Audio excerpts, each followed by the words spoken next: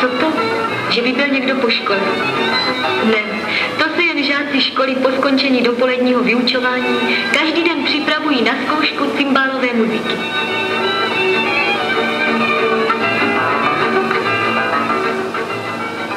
Chlapci ze 6. až 8. třídy pod vedením ředitele školy vyrůstají v mladé lidové hudebníky.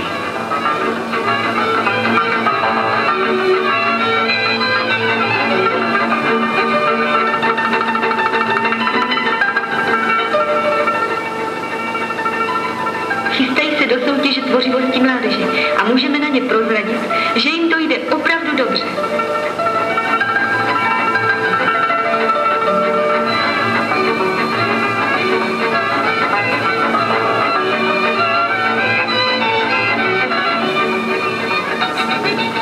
V letošním školním roce již uspořádali řadu pěkných vystoupení.